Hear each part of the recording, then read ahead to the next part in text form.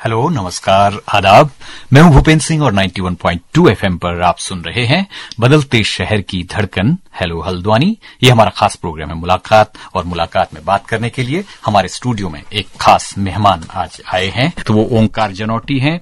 अभी जर्मनी में रहते हैं और जर्मनी के बॉन शहर में पत्रकारिता करते हैं। पिछले दस सालों से बॉन में पत्रकारिता कर रहे हैं। उससे पहले दिल्ली में एनडीटीवी के साथ लंबे अरसे तक उन्होंने एक रिपोर्टर के तौर पर काम किया।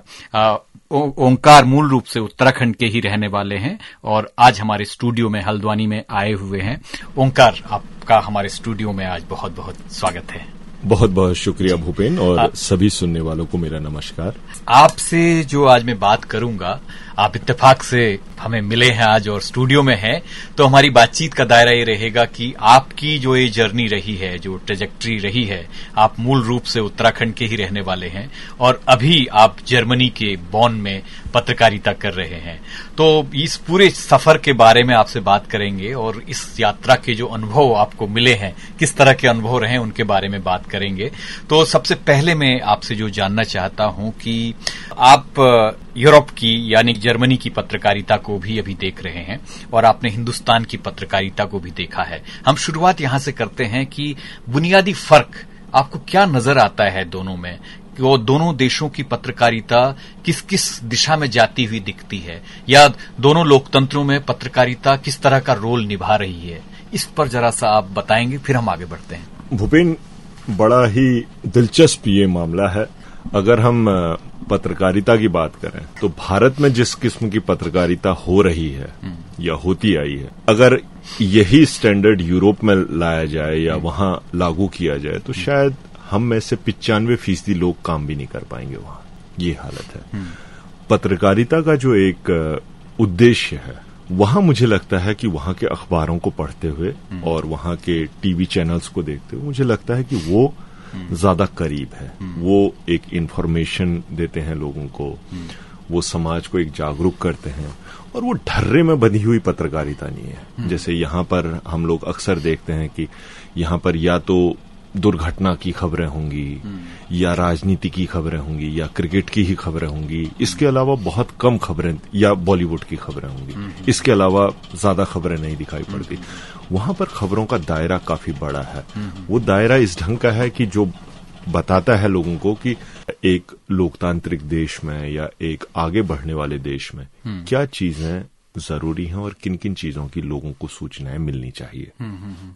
आ, काफ़ी इम्पोर्टेंट बात बता रहे हैं और बड़ी बेबाकी से आपने बताया कि यूरोप की पत्रकारिता और खासतौर पर जर्मनी की पत्रकारिता और हिंदुस्तान की पत्रकारिता में क्या फ़र्क है और जिससे एक इशारा इस दिशा में आपने किया कि हिंदुस्तान की जैसी अगर पत्रकारिता जर्मनी में भी होने लगे तो वहाँ के लोकतंत्र का वहाँ के समाज का वहाँ की संस्कृति का भी फिर वो खुदा ही मालिक हो जाएगा। बिल्कुल। इस तरह की आपने बात कही है। मैं आपको एक बड़ा दिलचस्प किस्सा बताऊँगा कि एक बार सुबह रेडियो में मैंने सुना। हम्म। रेडियो में सुबह सात बजे साढ़े सात बजे आठ बजे साढ़े आठ बजे जर्मन आधे घंटे में। जर्मन एफएम में। हम्म, वहाँ पर खबरें चलती हैं। हम्म, हम्म। तीन से चार मिनट की खबरें होती हैं। हम्म, पाँच मिनट की खबरें अलग अलग एफ़ और एक खब एक दिन ऐसा मौका था जब पहली खबर वहाँ थी रेडियो की सुबह सात बजे कि इस साल का सबसे बेहतरीन पर्यावरण सम्मत इनोवेशन का अवार्ड इस कंपनी को मिला है। इस कंपनी ने एक ऐसा वॉशिंग लिक्विड बनाया है जो पानी में प्राकृतिक बैक्टीरिया को नहीं मारता है। हम्म, हम्म। ये वहाँ की पहली खबर थी। हम्म, और मैं उम्मीद भी नहीं कर सकता हूँ कि हिंदुस्तान में कभी पहली खबर बनेगी। क्यों नहीं बनेगी? क्या इसके रीजंस क्या लगते हैं आपको कि क्यों ऐसा माहौल यहाँ पर है पत्रकारिता में? क्यों? क्योंकि शायद इसके लिए मैं खुले तौर पे संपादकों को जिम्मेदार ठहराऊँगा। क्योंकि शायद उनकी अकली इतनी नहीं है। वो उनका सोचने का दायरा ही इतना आगे नहीं है। वो दिल्ली या बड़े महानगरों मुंबई में ऐसे कैद हो चुके हैं कि उन्हें ये पता नहीं कि बहुत सारी चीज़ें कैसे काम करती उन्हें ये नहीं पता कि पर्यावरण पहली खबर होती है। आज अगर ये इतना ही जागरूक होते तो दिल्ली मुंबई या कोलकाता जैसे महानगर आज जो हमारे वायु प्रदूषण के लिहाज से सबसे खराब माने जा रहे हैं टॉप टेन में आए हैं। ये हालत नहीं होती। एक तो संपादक जिम्मेदार हैं इसके लिए आपकी बात से आ, मैं सहमत हूँ। लेकिन आ, एक बात क्या आपको ऐसा नहीं लगता कि संपादकों के साथ साथ जो उनका मैनेजमेंट है या जो मीडिया ऑर्गेनाइजेशन है जिसके साथ वो काम करते हैं उसके पूरी पत्रकारिता पर इस तरह के दबाव हैं कि पत्रकारिता को एक मुनाफा कमाने का प्लेटफॉर्म सिर्फ़ हमारे यहाँ बना दिया गया है। जबकि आप जैसे यूरोप की पत्रकारिता को देखते हैं तो वहाँ पर मुनाफा बहुत छोटी चीज़ है, या उसमें व्यवसाय वाला या धंधे वाला जो एस्पेक्ट है, वो बहुत छोटा है, जबकि सोशल सर्विस वाला या लोगों को इन्फॉर्म करने वाला या एक वेल इन्फॉर्म्ड सोसाइटी बनाने बनाने वाला जो एलिमेंट है जर्नलिज्म में, या डेमोक्रेसी के फोर्थ पिलर के तौर पर काम करने वाला जो एलिमेंट है, वो ज़्यादा वहाँ पर है। तो इसके लिए कहीं ना कहीं क्या आपको ऐसा नहीं लगता कि हमारी जो स्टेट की पॉलिसीज़ हैं वो भी और हमारी जो पूरी अर्थव्यवस्था है वो भी और उसमें जो मालिक जो कंपनीज़ मीडिया को चला रही हैं वो भी जिम्मेदार हैं? बिल्कुल वो एक हाँ। वो एक चेन की तरह है। हम्म, हम्म, उस चेन में शायद ये नहीं कहा जा सकता कि यही कड़ी हम्म, कम गड़बड़ कर रही है। उसकी सारी कड़ियाँ जुड़ी होनी चाहिए और मज़बूत होनी चाहिए। अगर एक भी कमज़ोर पड़ेगी तो गड़बड़ होगी। तो इस लिहाज से और दूसरी बात जब हम लोग सेटअप की बात करते हैं तो एक यूरोपियन मीडिया में जैसे हाल ही के समय में हम लोगों ने एक केस देखा जर्मनी की बहुत बड़ी पत्रिका है डे स्पीगल हम्म, हम्म, हम्म। और दुनिया भर में ज़बरदस्त स्टोरीज और खुलासों के लिए मशहूर पत्रिका है वो। डे स्पीगल पत्रिका ने के एक बहुत अवार्ड विनिंग जर्नलिस्ट ने कुछ चीज़ों में आ, कुछ स्टोरीज में काल्पनिक चीज़ें गढ़ी। एक फीचर्ड रिपोर्ट में काल्पनिक चीज़ें उन्होंने कुछ रिपोर्ट्स में गढ़ी। जैसे मसलन कहानी को या रिपोर्ट को और खूबसूरत या एकदम विजुअलाइजेशन से भरा बनाने के लिए उन्होंने हम्म। लिखा कि हम्म। जब आप दस सीढ़ियाँ चढ़ेंगे दस हम्म। सीढ़ियाँ चढ़ने के बाद एक बोर्ड आया बोर्ड में ये लिखा था तो ये चीज़ें बाद में पता चला कि ये चीज़ें गलत थी ऐसी वहाँ कोई दस सीढ़ियाँ ना थी ही नहीं और ना वहाँ कोई ऐसा बोर्ड था ये चीज़ें वापस आने के बाद टॉप लेवल के जर्मन जर्नलिस्ट। को इस्तीफा देना पड़ा। खुद डे स्पीगल ने पहला मुकदमा उन पर किया अपनी तरफ़ से और आज की डेट में हालत यह है कि वो कहीं चले जाएँ। उन्हें जर्मनी के किसी और पब्लिक हाउस में या आ, किसी और जर्नलिज्म मीडिया इंस्टीट्यूशन में नौकरी नहीं मिलेगी। ये चीज़ आप भारत में इम्प्लीमेंट करके देखें असल में हम लोगों के साथ कई बार मुझे लगता है भूपेन कि हम लोग जवाबदेही से भागते हैं। हम लोग कुछ भी लिख देने के आदि हैं। हम लोग कुछ भी लिख देने के आदि हैं ना कभी हम पर घूमकर वो डंडा आया है जहाँ हमारी जवाबदेही मांगी गई है। क्यों? क्योंकि किसी के बारे में कुछ भी लिख देना ये बड़ा आसान है। लेकिन क्या आप एक एक शब्द जो आपने लिखा है या एक एक शब्द जो आपने कहा है क्या आप उसको जस्टिफाई करने या आप उसको ये साबित करने की ये सही तथ्य है? क्या आप कर पाएँगे? आपके आप ओपिनियन अगर आप व्यक्त करना चाहते हैं ओपिनियन कॉलम में लिखिए। न्यूज़ रिपोर्ट में उसकी क्या ज़रूरत है? लेकिन भारत में हम लोग इतना ज़्यादा इस हर कोई इस तरह का लगता है कि कुछ गाय भैंसों को के एक झुंड को अपनी अपनी तरफ़ खींचना चाहिए सही बात है। ओंकार काफ़ी इम्पोर्टेंट बातें आप बता रहे हैं और एक तरह से जर्मनी का जो मीडिया है, न्यूज़ मीडिया, उसका कंपैरिजन भी हम लोग कर रहे हैं अपने इंडियन मीडिया से, क्योंकि आप लगातार जर्मनी में रहते हुए पिछले पंद्रह सालों से वहाँ के मीडिया को देख रहे हैं, और एक तरह से प्रैक्टिसनर भी वहाँ पर आप मीडिया के हैं डॉयचे वेले के साथ आप वहाँ पर पत्रकार हैं।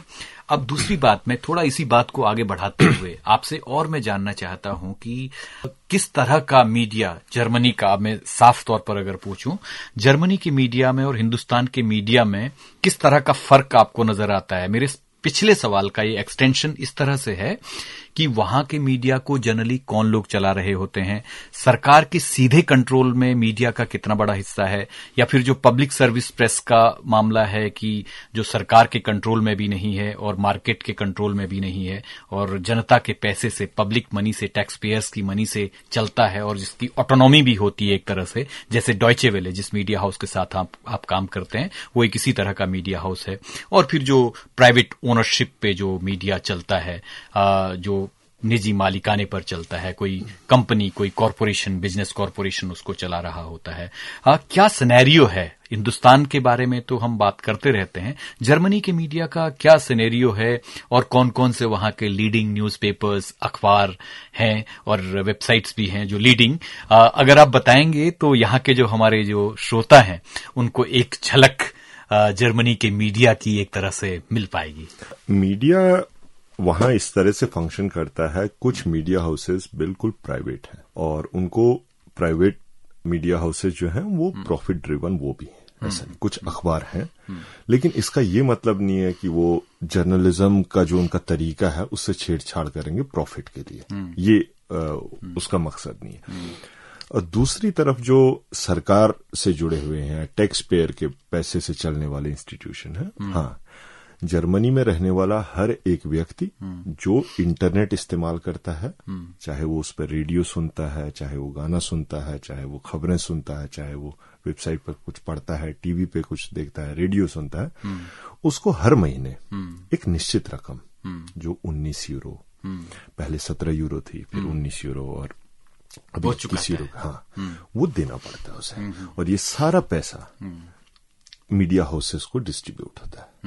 और मीडिया हाउसेस इसी पैसे पे चलते हैं। इसी पैसे से चलते हैं और इस पैसे के साथ उनको एक आज़ादी मिलती है कि आपकी वित्तीय जरूरतें जो हैं वो टैक्स पेयर्स इस पैसे से पूरी हो चुकी हैं। अब आपको इधर उधर भटकने की ज़रूरत नहीं। अब आपको एडवर्टाइजमेंट्स या विज्ञापनों के लिए नाचने की ज़रूरत नहीं है या कोई ऐसी चीज़ करने की ज़रूरत नहीं है जो बड़ी फूहड़ हो।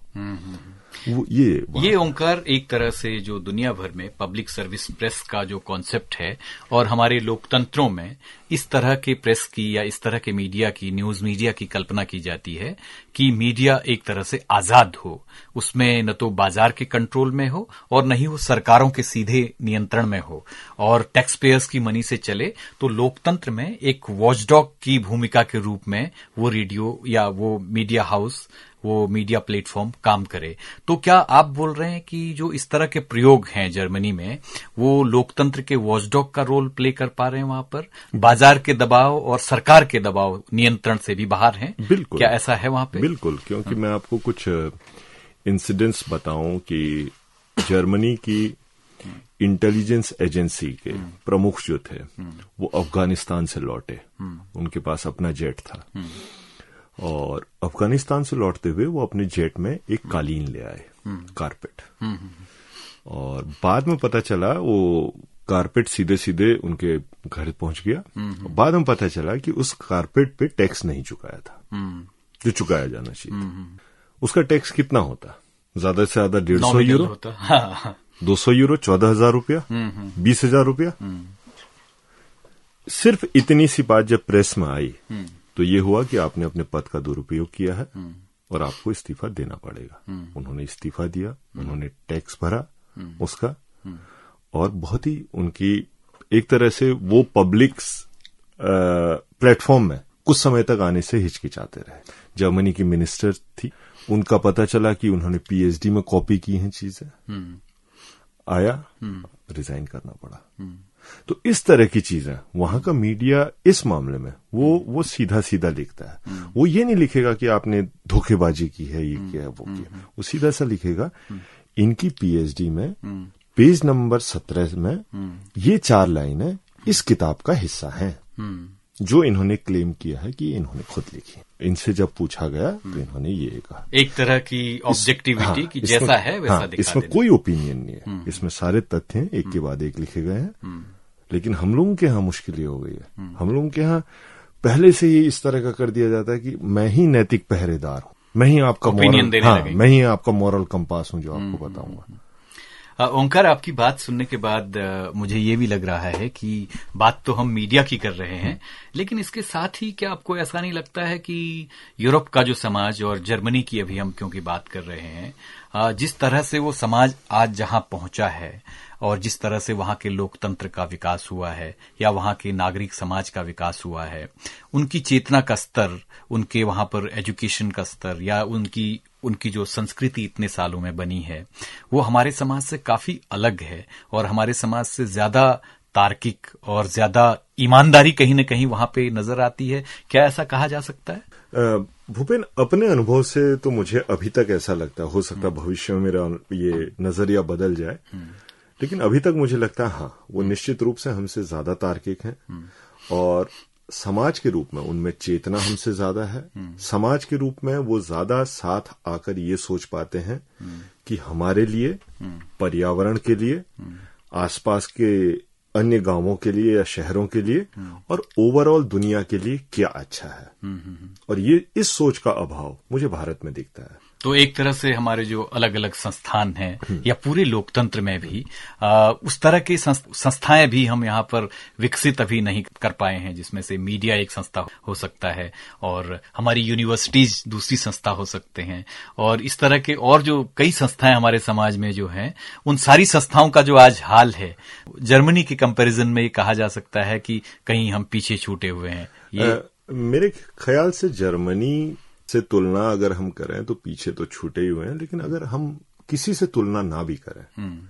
हम अभी के समाज को देखें अभी की दुनिया को देखें उसकी धारा देखें तो खुद पता चल जाएगा दूसरे से तुलना ना भी करें तो हम बहुत पीछे छूटे हुए और यहाँ के समाज की क्योंकि आपका अपना देश है आप पले बड़े हैं आ, ये तो कमज़ोरी है कि लोकतंत्र के मामले में हम कहीं न कहीं पीछे छूटे हुए हैं।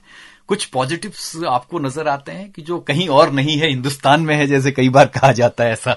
ऐसा भी कुछ। बिल्कुल बिल्कुल पॉजिटिव्स काफ़ी हैं पॉजिटिव्स काफ़ी हैं और जैसे एक दो झलक आप देते हुए चलिए तो फिर हम आगे बात बढ़ाते हैं। पॉजिटिव्स इस वजह से हैं कि भारत आना हमेशा मैं छह छह महीने बाद आता हूँ घर। हम्म, हम्म। और मुझे कहीं ना कहीं लगता है कि मेरी बैटरीज चार्ज हो जाती हैं। हम्म। मैं एक खालीपन जो आता है अंदर कई बार क्योंकि कई बार आप कितना ही तार्किक हो लीजिए। जीवन में कुछ ऐसी घटनाएँ होती हैं जो आपके आपकी समझ के बाहर होती हैं। है ना? तो हिंदुस्तान हमेशा ऐसे ही चलता है। ये कई बार आपकी समझ में नहीं आता। कुछ जादू है मतलब हाँ, आप ये बोल रहे हैं। आप आप जीवन को नियंत्रित करने की कोशिश करेंगे तो गड़बड़ हो जाएगी। हिंदुस्तान अपने ढंग से चलता है और आप, आप उसके प्रवाह में बहिए। और एक चीज़ मुझे जो बड़ी खूबसूरत लगती है भारत में वो लगती है यहाँ पे गरीब आदमी जो है हम्म। गरीब शायद गलत शब्द होगा निर्धन। हम्म। उसमें अभी भी जो भाव है एक देने का भाव एक अदब का भाव हम्म। निर्धन लोगों में वो मुझे कायल कर देता है। उनके पास कुछ ना होते हुए भी वो जितना है वो आपको ऑफ़र करते हैं। देश बदल रहा है।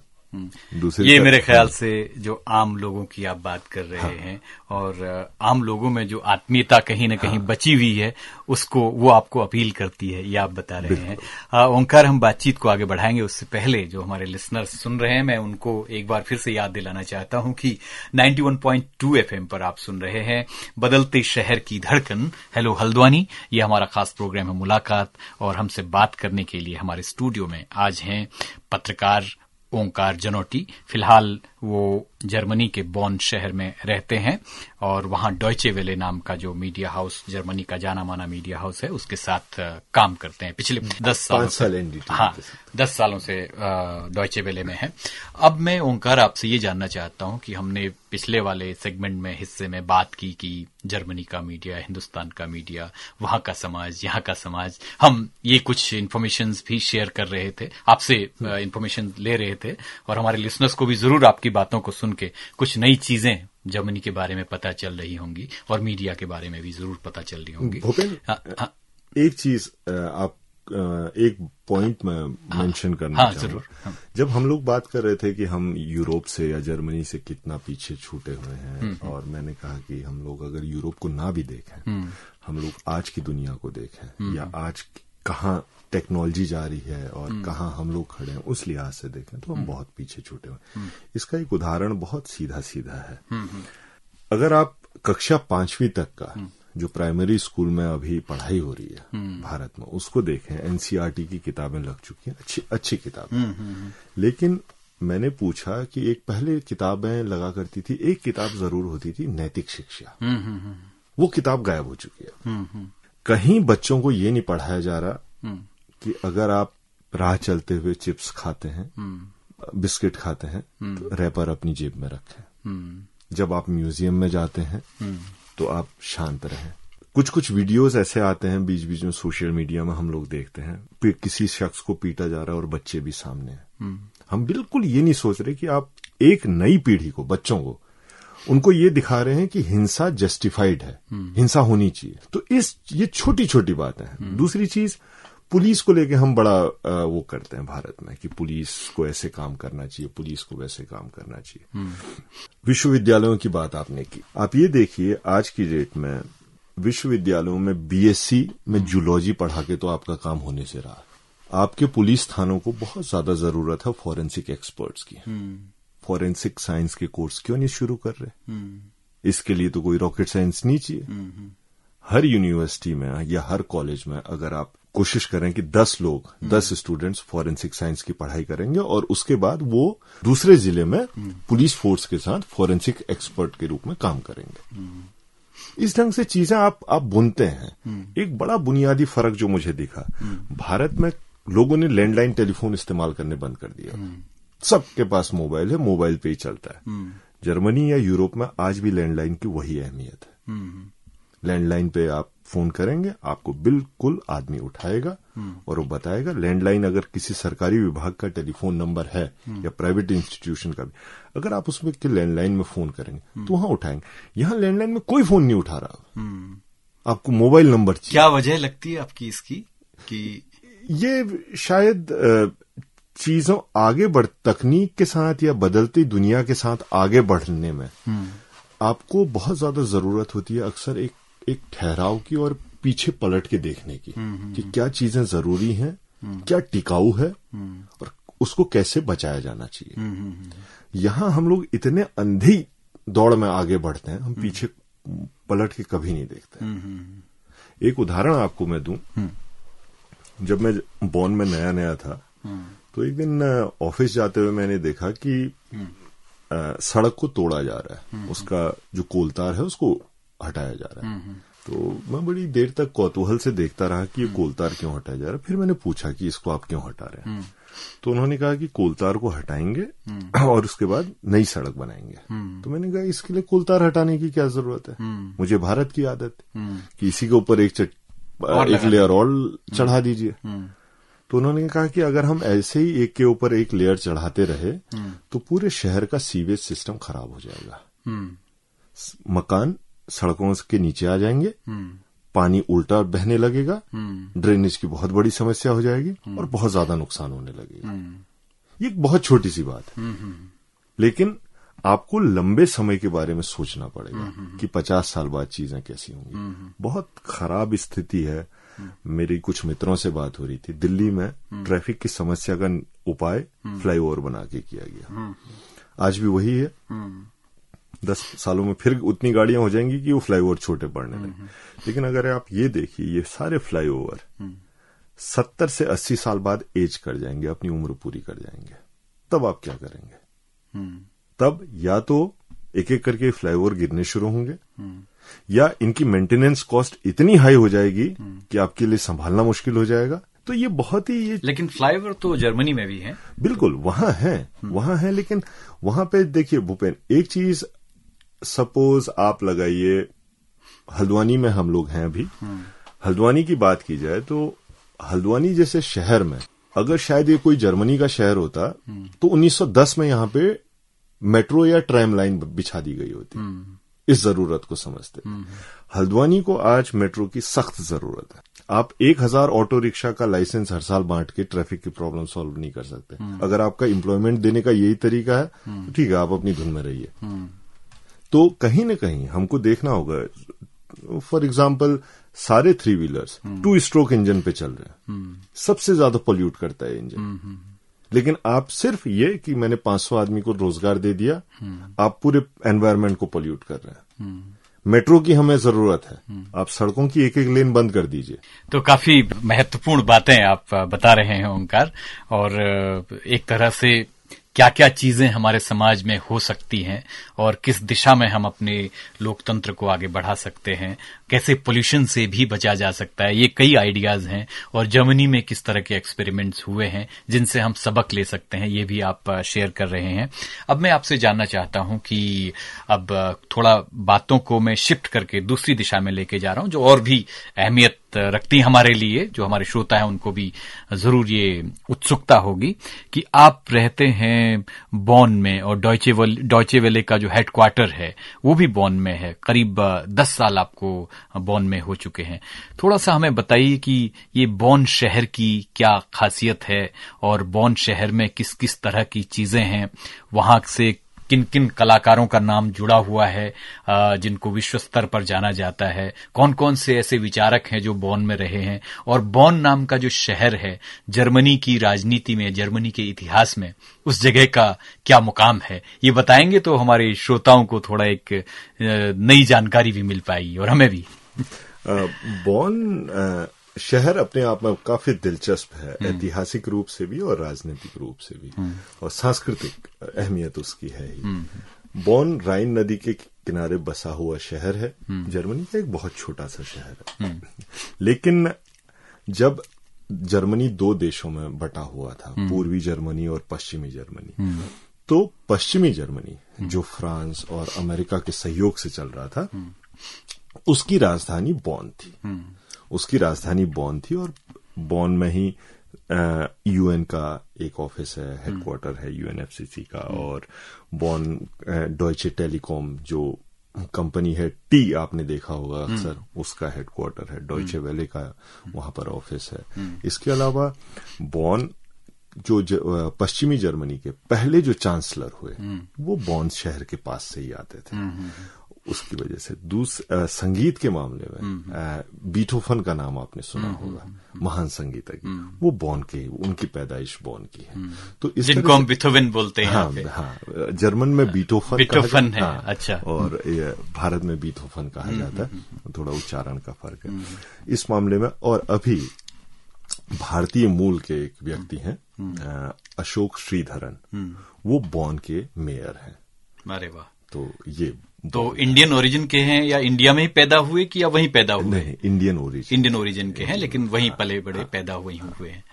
वाह तो ये, ये इसका मतलब ये ये भी है कि वो समाज एक तरह से सर्वदेशीय समाज जिसको हम कॉस्मोपॉलिटन सोसाइटी भी बोल सकते हैं। अलग अलग देशों से आए हुए अलग अलग भूगोलों से आए हुए सारे लोग जर्मनी में बसे हुए एक तरह से कह सकते हैं। बिल्कुल। और उनको वो लोकतांत्रिक अधिकार भी हैं। बिल्कुल इस जर्मनी के चुनावों में अगर आप दूसरे देश से आए हुए कोई व्यक्ति हैं जिसने जर्मनी की नागरिकता ले ली है तो आप वहाँ चुनाव लड़ सकते हैं।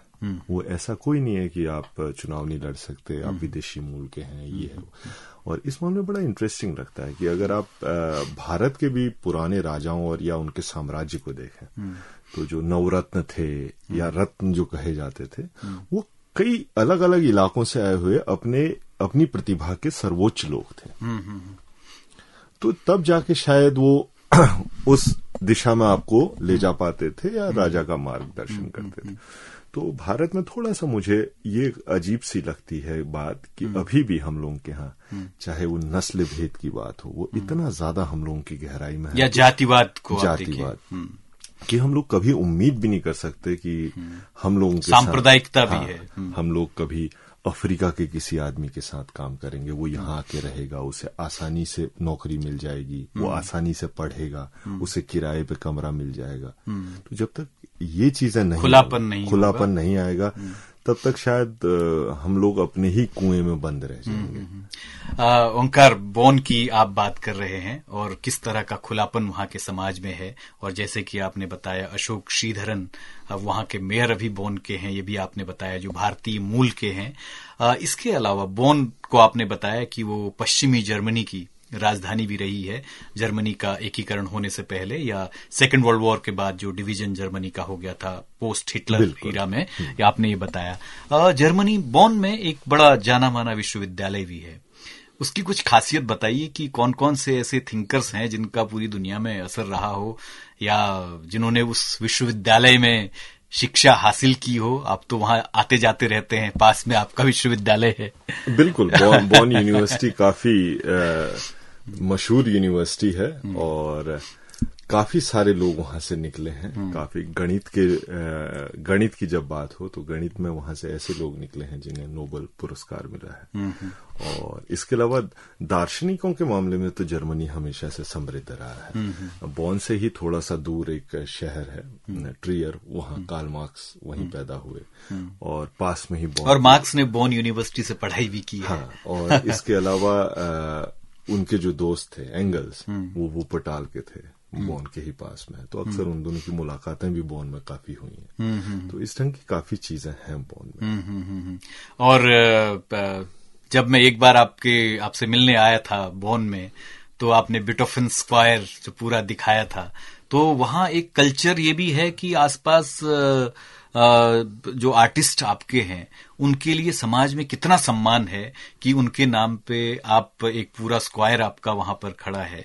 और लोग बड़े रिस्पेक्ट के साथ इस तरह की उनके स्टैच्यूज को देखते हैं। जबकि दूसरी तरफ़ हम हमारे समाज को देखते हैं तो यहाँ पर जो सेलिब्रिटीज हैं, नेताओं के स्टैच्यूज हमें मिलते हैं। हमारे विचारकों के और हमारे कलाकारों को तो हमारे समाज में वो सम्मान दिखाई नहीं देता कहीं। क्या कहना चाहेंगे इस बारे में? बिल्कुल, वो खुलापन शायद हम लोगों में नहीं है। हम आत्ममुग्धता की ऐसी दौड़ में फंस गए हैं कि जहाँ शायद आत्ममुग्धता कुछ अब तो राजनीति के की गिरफ्त में है वो आत्ममुग्धता। उन्हीं को अधिकार है उस आत्ममुग्धता को किसी प्रतीक में प्रतीक के रूप में दिखाने का। अगर आप अ, दूसरे देशों की बात करें तो दुनिया में करीब करीब 45 ऐसे देश हैं 45 से ज़्यादा जहाँ महात्मा गांधी के नाम पे सड़क है। हम्म, हम्म, कई जगह पे स्टेडियम या कोई म्यूज़ियम या कोई इमारत उनके नाम पे है। भारत में आप बहुत बहुत कम ऐसी जगहें दिखा सकते हैं जो किसी विदेशी नेता या विदेशी शख्सियत जो बड़ी के नाम पे हो। के, के नाम पे हो।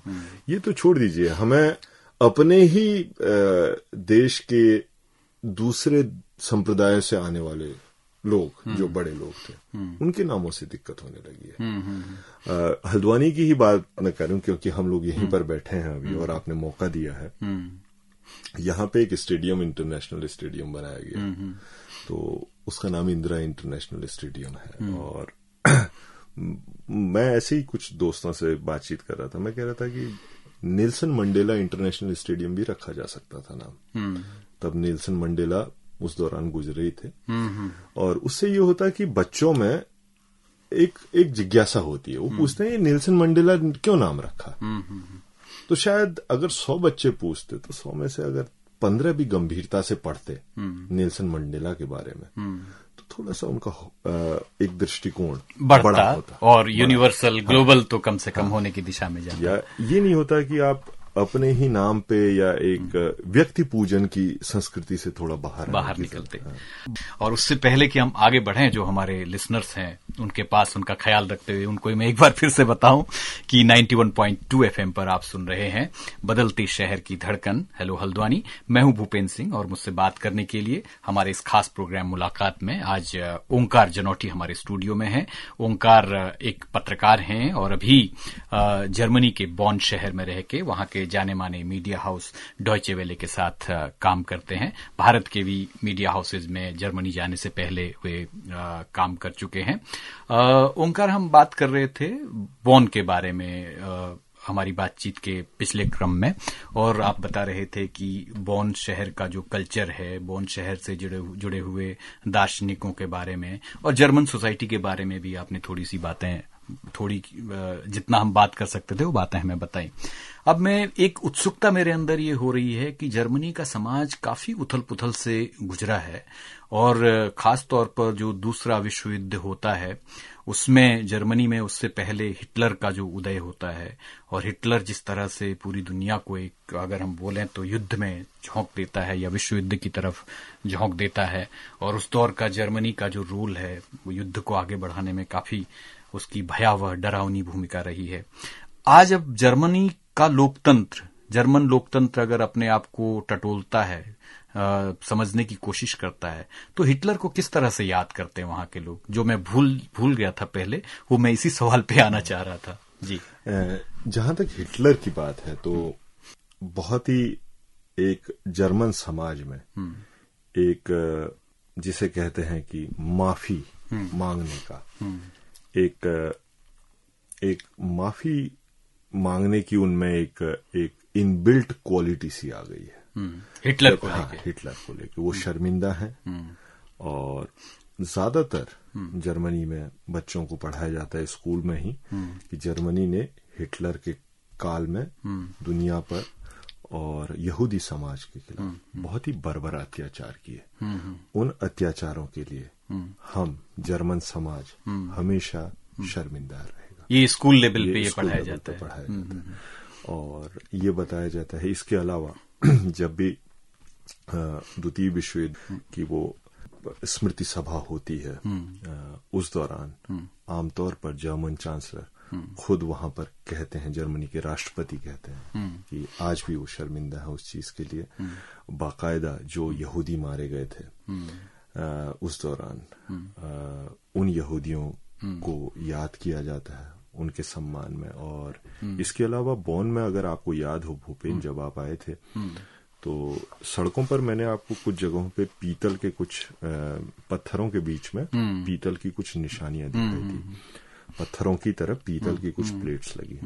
तो वो वो प्लेट्स हैं जहाँ पर कोई यहूदी परिवार रहता था, उनका नाम जिस व्यक्ति को वहाँ से उठाया गया कब से कब तक का रिकॉर्ड है छोटा सा विवरण है। तो उन जब आप अ, सड़कों पर चलते हैं बाज़ार के बीच में तब आपको जब वो पत्थर दिखाई देते हैं तो, तो आपको याद आता है कि यहाँ पे क्या क्या इस तरह की घटनाएँ हुई थी। ओंकार हाँ। में थोड़ा सा रोकते हुए आपको इसी बात को और अ, जानना चाहता हूँ आपसे कि जिससे हमारे जो श्रोता हैं, उनको भी एक आइडिया आ पाएगा, जिन्होंने कभी हिटलर के बारे में नहीं जाना है, जिन्होंने कभी जर्मनी में हिटलर ने क्या किया या विश्व युद्ध में हिटलर का क्या रोल रहा है, इसके बारे में इन्फॉर्मेशन नहीं होगी माना। हमारे, क्योंकि लिसनर्स में बहुत ही डाइवर्स किस्म का जो पॉपुलेशन है, वो सब लोग रेडियो को सुनते हैं। तो उनकी जानकारी के लिए भी हल्का सा आप, आप बताते हुए चलें कि हिटलर ने समाज को किस दिशा में कैसे झोंका था और वो कैसा समाज उसने उस दौरान बना दिया था। एक हल्की झलक आप देंगे तो फिर हम आगे बढ़ेंगे बातचीत में। देखिए और उस- क्यों जर्मनी का आज का समाज शर्मिंदा है हिटलर को लेकर? देखिए उस दौरान जब मैं कई अपने मित्रों से बात करता हूँ जर्मनी के ही वो बताते हैं कि उस दौरान एक ऐसा उसकी मूल भावना में एक नस्लवाद था। नस्लवाद ये था कि आर्य जो है हम लोग आर्य हैं। और वो श्रेष्ठ और वो श्रेष्ठ है। ये भाव और इसके साथ साथ ये हुआ कि यहूदी जो समाज था उनको ये माना गया कि ये दोयम दर्जे के लोग हैं। और अगर हम अगर समाज को आर्यों को सुरक्षित रखना है और कामयाबी आगे बढ़ते रहना है। तो उन्हें इन चीज़ों से दूर रहना पड़ेगा। ये इस ढंग से बहुत ही मनोवैज्ञानिक तरीके से समाज के बीच में एक घृणा फैलाई गई। लेकिन ऐसा यहूदियों के खिलाफ। यहूदियों के खिलाफ।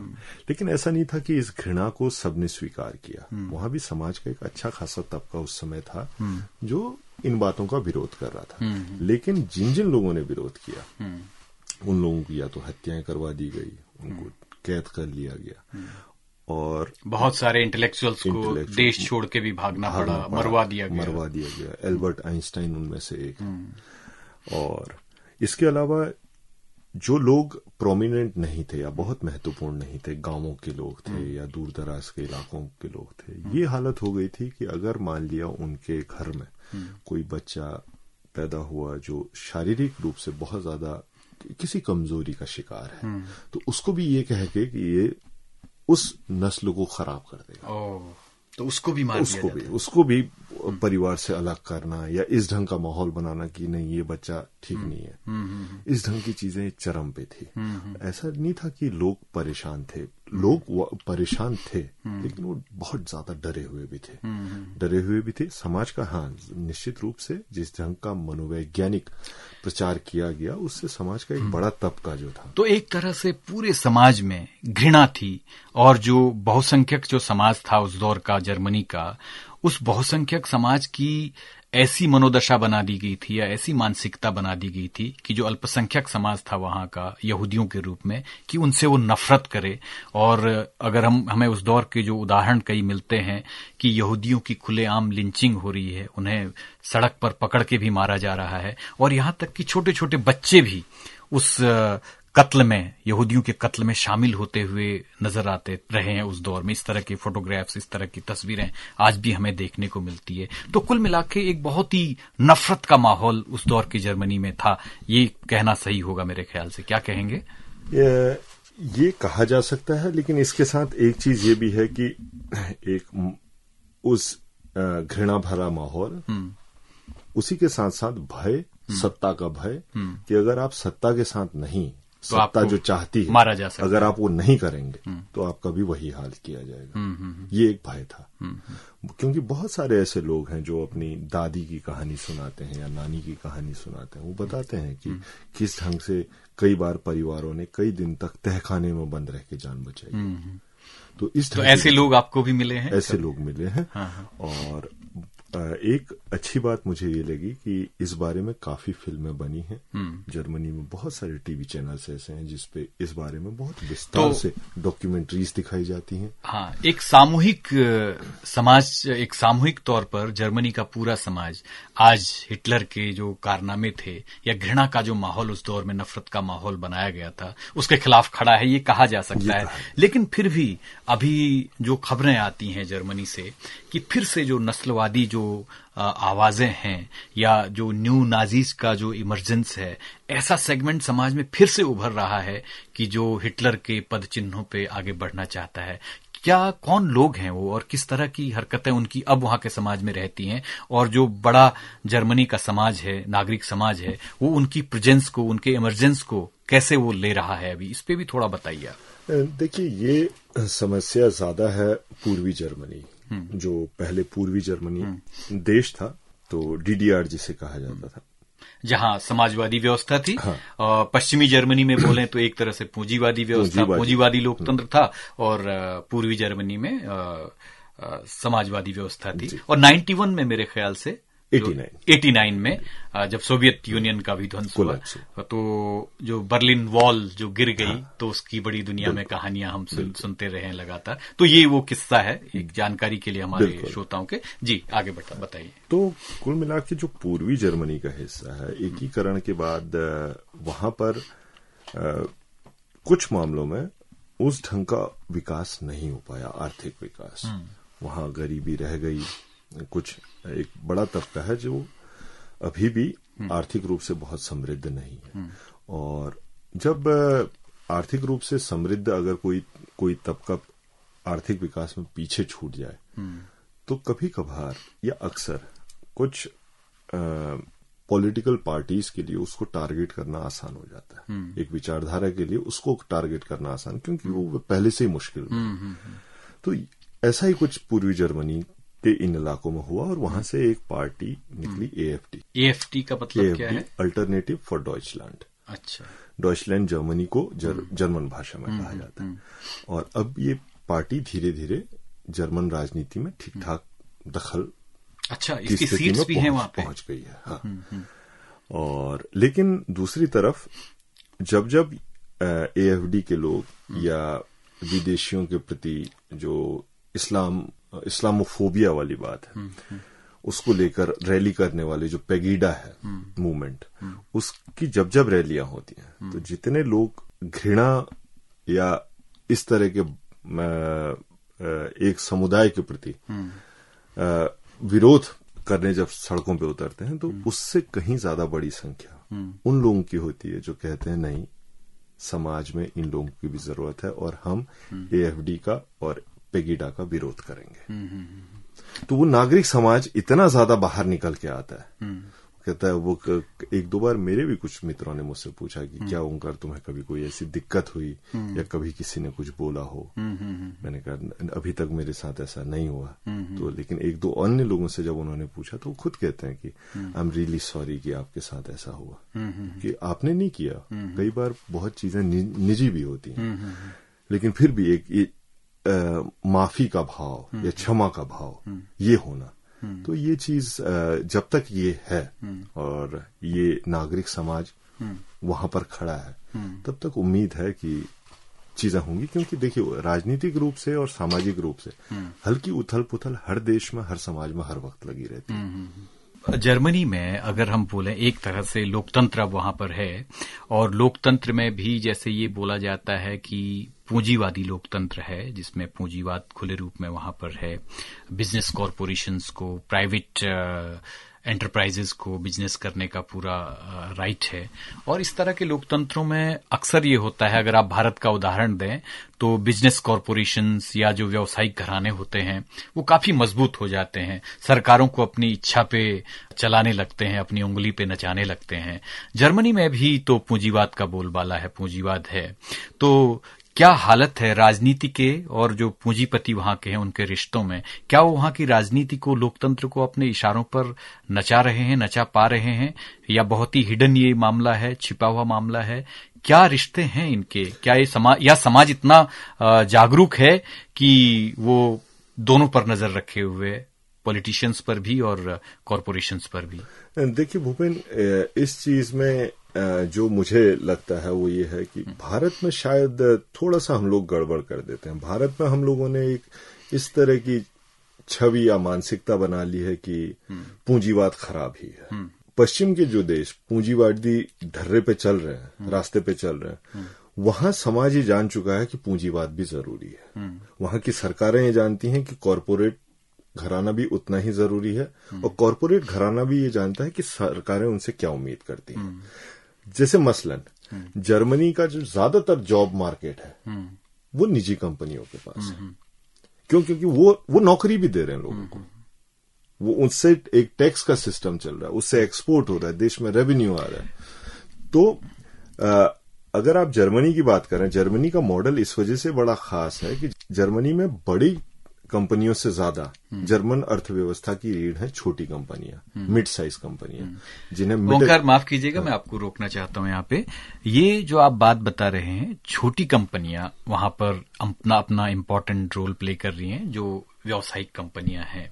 आपने कहा कि पूंजीवाद भी, उसका भी एक इम्पोर्टेंट रोल है जर्मन के समाज में।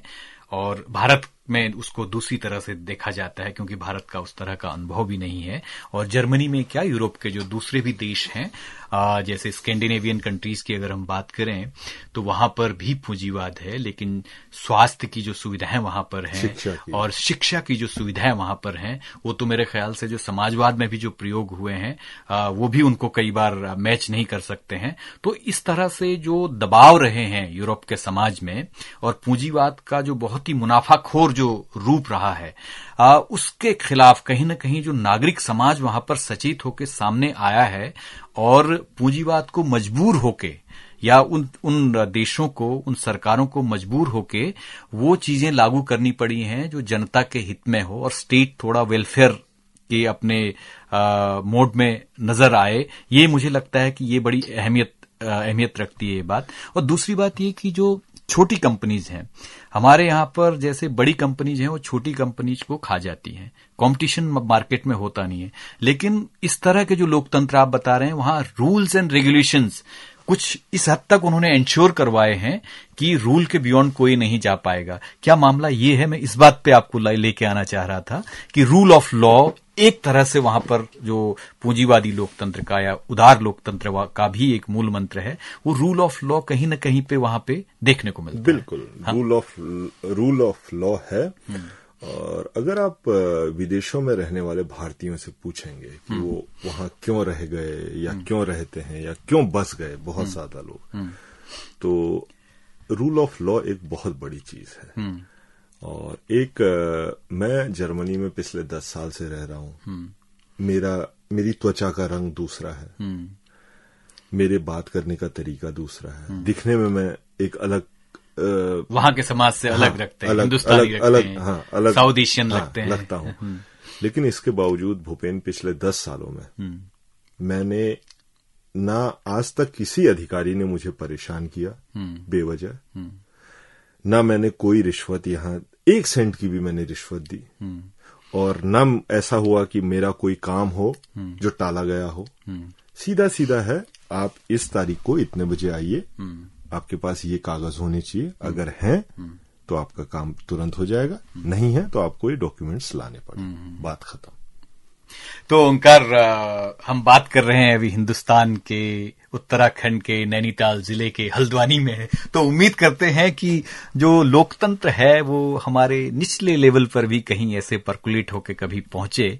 और जो आप बात जर्मनी का उदाहरण दे रहे हैं कि एक सेंट की भी वहाँ पर रिश्वत नहीं देनी पड़ती है, कम से कम आपका ऐसा अनुभव नहीं है। तो हम काश की हमारे समाज में भी ऐसा हो कि जो नियम कानून से चीज़ें चलने लगें और वो दिखाई भी दें और लगे कि हाँ लोकतंत्र हमारा सच में फल फूल रहा है तो इस बात की हम उम्मीद तो कर ही सकते हैं मुझे ऐसा लगता है। बिल्कुल बिल्कुल तो, तो हम एक और राउंड की बातचीत आपसे करेंगे। उससे पहले जो लिसनर्स हमारे हैं मैं याद दिलाऊं कि 91.2 एफएम पर आप सुन रहे हैं बदलते शहर की धड़कन। हेलो हल्द्वानी। ये हमारा खास प्रोग्राम है मुलाकात और हमसे बात करने के लिए पत्रकार ओंकार जनोटी हमारे स्टूडियो में आज हैं। जर्मनी में फ़िलहाल वो रहते हैं, बॉन में, और डॉयचे वेले जो वहाँ का जाना माना मीडिया ऑर्गेनाइजेशन है, उसके साथ वो काम करते हैं। उत्तराखंड के रहने वाले हैं मूल रूप से और फ़िलहाल यहाँ आए हुए हैं और हमने उनसे रिक्वेस्ट की कि आप हमारे स्टूडियो में आए और आज हमारे स्टूडियो में वो आए हुए हैं।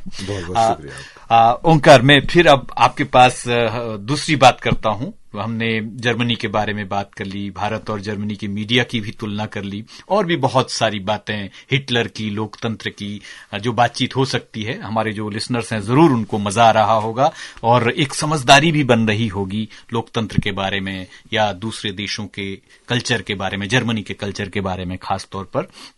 अब मैं ये जानना चाहता हूँ आपसे कि ये जो आपकी पर्सनल ट्रेजेक्ट्री है कि जर्मनी में आप बॉन में पिछले दस साल से रह रहे हैं, उससे पहले आप हिंदुस्तान में थे और एनडीटीवी के साथ आप, आपने पत्रकारिता की। मूल रूप से आप उत्तराखंड के रहने वाले हैं। थोड़ा कहानी बताइए कि कौन सा गाँव और कौन सा शहर कौन सा जिला उत्तराखंड का और वहाँ से ये बौन तक पहुँचने की क्या कहानी है वहीं रहने वाले हैं या वापस भी आना चाहते हैं कभी क्या इरादे जरा बताइए मैं मूल रूप से हम्म। बागेश्वर ज़िले में। एक पालड़ी करके गाँव है वहाँ हम लोगों का गाँव है। काफ़ी खूबसूरत गाँव है। हिमालय 180 डिग्री का नज़ारा दिखता है ये किस वाली रोड में आ... ये ताकुला वाली रोड ताकुला वाली रोड में है। हम्म। मेरे माता पिता दोनों टीचर हैं। पिताजी रिटायर हो चुके हैं और दोनों लोहाघाट में थे। लोहाघाट में तो मेरी स्कूली पढ़ाई और कॉलेज में बीकॉम सेकेंड ईयर तक मैंने लोहाघाट में ही पढ़ाई की। और उसके बाद मैं हल्द्वानी आया। पिताजी का ट्रांसफ़र हो गया। और हल्द्वानी आया तो यहाँ से मैंने बीकॉम फाइनल किया। बीकॉम फाइनल करने के बाद मैंने जर्नलिज्म किया। फिर मैं एनडीटीवी में पाँच साल काम किया। एनडीटीवी में पाँच साल काम करने के बाद एक फेलोशिप के दौरान जर्मनी जाने का मौका मिला। हम्म। और मुझे लगा छह महीने की बात है देख के आते हैं क्या। हम्म, हम्म, और उसी दौरान मुझे डॉयचे वाले ने पूछा कि आप यहाँ काम करना चाहेंगे मुझसे। तो मैं झिझका और मैंने कहा कि मैं पहले वापस एनडीटीवी लौटूँगा और फिर आपको बता पाऊँगा कि मैं कर सकता हूँ यानी तो एनडीटीवी लौटने के बाद कुछ साथियों से बात हुई और उन्होंने कहा कि अभी यंग हो दुनिया देखने का मौका है। तो करो इस चीज़ तो इस ढंग से ये शुरुआत हुई। हम्म। तो और फिर धीरे धीरे भूपेन कई बार ऐसा हुआ कि मुझे लगता था कि ये शायद जनवरी में स्पेशली हम्म, हम्म। मुझे लगता था कि ये जर्मनी में मेरा आखिरी साल है इस साल के अंत में। जनवरी में ही क्यों? नया साल है नया और, साल। हाँ और इस साल का पूरा प्लान मैं क्या करना चाहता हूँ हाँ, क्या हाँ, नहीं करना चाहता हूँ। हाँ, तो मुझे लगता था कि इस साल अंत में पैकअप करेंगे और वापस चले जाएँगे। क्यों? क्योंकि एक पीड़ा शायद वो पूरे भारतीय समाज की है और पहाड़ों में वो कुछ ज़्यादा है।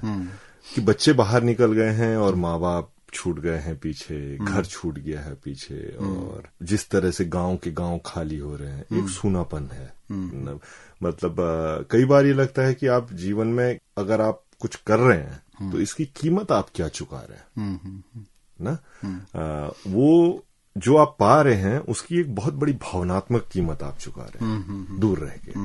तो ये कई बार उधेड़ बुन लगी रहती थी और लेकिन देखते देखते दस साल गुजर गए।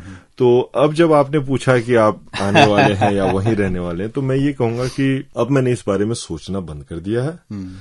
और ज़िंदगी जो हाँ, बहाव जो चल रहा चल रहा है उसमें, उसमें आप चलते जा हाँ, रहे हैं। लेकिन और जो आप बता रहे थे इससे पहले की बातचीत हाँ, में उससे कंक्लूजन ये भी ड्रॉ किया जा सकता है कि उस समाज में जिस तरह के लोकतांत्रिक अधिकार अपने मिल पा रहे हैं कोई झूठ फरेब ज़्यादा एक्सरसाइज या नहीं एक्सरसाइज करना पड़ता है उससे आपको अच्छा लग रहा है। ये तो कहा जा सकता बिल्कुल। और मैं उम्मीद करता हूँ मैं कहीं ना कहीं कोशिश ज़रूर करता हूँ कि वो चीज़ें उन सकारात्मक बदलावों को यहाँ भी मैं देख सकूँ या उसमें उत्प्रेरक की भूमिका निभा सकूँ। और रही बात भविष्य में कहीं रहने की।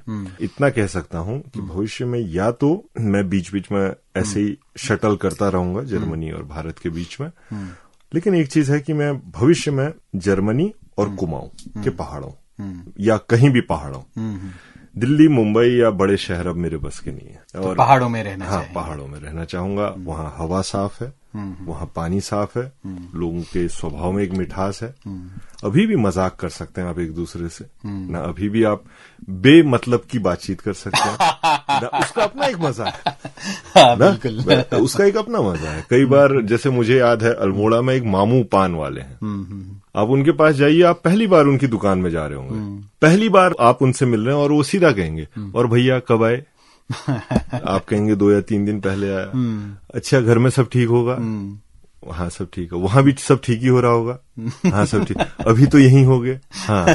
तो फिर होती फिर मुलाकात। इतने में वो आपको पान बढ़ा देंगे आपसे पैसा ले लेंगे आप जाइए। ये बेमतलब की बातचीत है। लेकिन लेकिन हाँ, आत्मीयता बन हाँ, जाती है उसका एक अपना मज़ा है। ना? पहाड़ों का ज़िक्र आपने छेड़ दिया है। आल्प्स यूरोप में आता है तो क्या आल्प्स आपको घूमने का मौका तो ज़रूर मिला होगा? जी। क्या फ़र्क नज़र आता है वहाँ के आल्प्स में और हमारे हिमालय में? और कैसा लगता है? अगर तुलना करें या न करना चाहें तो भी बताइए कि ऐसी क्या खास बातें हैं आल्प्स की। देखिए आल्प्स बहुत ही खूबसूरत पहाड़ है वो निश्चित रूप से और लेकिन हिमालय हिमालय है। हिमालय जितना विशाल है उसकी विशालता एक अद्भुत है। और हिमालय के अंदर जाके जिस तरह का आपको एक नज़ारा दिखता है कि हर समय एक विध्वंस चल रहा है एक सृजन भी वहीं पे चल रहा है और एक बहुत ही बड़े कैनवास में कई सारी चीज़ें चल रही हैं। इसका बहुत मज़ा आता है। आल्प्स में भी बिल्कुल निश्चित रूप से मज़ा आता है। और रही बात हिमालय और उसकी तुलना करने की तो आल्प्स में जो गाँव हैं वो बहुत ही समृद्ध है। वहाँ के किसान वहाँ के लोकल जो लोग हैं स्थानीय लोग वो बहुत समृद्ध लोग हैं। क्यों? क्योंकि उन तक का बहुत अच्छी इंटरनेट फैसिलिटी पहुँची है। उन तक का बहुत अच्छी रोड पहुँची है। रोड एक्सेस है। उनके पास वो सारी सुविधाएँ हैं जो शहरों में मिलती हैं। और जहाँ अस्पतालों की बात करें अगर अस्पताल वहाँ तक का नहीं पहुँचे हैं तो वहाँ पे कम से कम हेलीकॉप्टर फैसिलिटी या इस ढंग की सुविधाएँ हैं कि 35 किलोमीटर के अंदर या 40 किलोमीटर के अंदर एक बहुत अच्छा अस्पताल होगा। और आप यकीन नहीं करेंगे भूपेन्द्र पिछले साल मैं बॉन से बाहर निकल के बॉन से साठ किलोमीटर दूर एक गाँव है वहाँ गया वहाँ रहता हूँ। उस गाँव के पास जर्मनी में साइंस के मामले में सबसे बेहतरीन इंटर कॉलेज है हाई स्कूल है। उस गाँव के ये पूरा पब्लिक हाई स्कूल होगा? पूरा पब्लिक वहाँ शिक्षा का थोड़ा हाल बताइए कि वहाँ के नागरिकों को कितनी फ़ीस चुकानी पड़ती है? क्या सरकार पूरी शिक्षा प्रोवाइड करती है? एक जैसी शिक्षा व्यवस्था है या हिंदुस्तान की तरह से जिसके पास पैसा है वो महँगे स्कूल में पढ़ेगा और गरीब लोग देखिए कुछ कुछ जगहों पर प्राइवेट स्कूल है। और वो प्राइवेट स्कूल ज़्यादातर इस वजह से चल रहे हैं कि जैसे डीएचएल जो कंपनी है या डॉयचे टेलीकॉम जो कंपनी है यूएन है या डॉयचे वेले भी आप कह सकते हैं या मल्टीनेशनल जो कंपनीज़ हैं उनमें बहुत सारे ऐसे लोग होते हैं स्टाफर्स हैं उनके जो तीन साल बाद या दो साल बाद किसी और देश में चले जाएँगे वहाँ काम करने लगेंगे। तो उनके बच्चों के लिए जर्मन स्कूल सिस्टम में एकदम घुस पाना थोड़ा मुश्किल होता है। क्योंकि उन्हें ये भी पता है कि कल के दिन हो सकता है जर्मनी से निकल के वो स्पेन चले जाए। या वापस कैनेडा चले जाए। तो वो इंग्लिश मीडियम है। वो प्राइवेट स्कूल है उनकी मोटी फ़ीस है उनकी अच्छी खासी फ़ीस है। लेकिन शिक्षा में भी कोई फ़र्क है या अच्छी क्वालिटी के हिसाब से बोले? जैसे हिंदुस्तान में तो माना जाता है कि अगर आप प्राइवेट स्कूल्स में पढ़ रहे हैं महँगे स्कूल्स में पढ़ रहे हैं तो माना जाता है कि शिक्षा की क्वालिटी भी बड़ी महान है उधर महँगी है। नहीं, हाँ, अगर शिक्षा के मामले की बात करेंगे तो जर्मनी के जो अपने स्कूल हैं पब्लिक स्कूल पब्लिक स्कूल हैं सचमुच के पब्लिक स्कूल सचमुच हमारे यहाँ की तरह के पब्लिक स्कूल्स नहीं जो प्राइवेट हैं। सचमुच के पब्लिक स्कूल और वो बहुत ज़्यादा आगे हैं। बहुत ज़्यादा आगे हैं बहुत ढंग से बच्चों को पढ़ाया जाता है। कोई फ़ीस नहीं है। कोई फ़ीस नहीं है बहुत अच्छा। ओंकार आप दस साल से जर्मनी में रह रहे हैं। जर्मन तो आपने सीख ही ली होगी और कितना सीखी है और कितनी ज़रूरत पड़ती है जर्मन बोलने की वहाँ पर।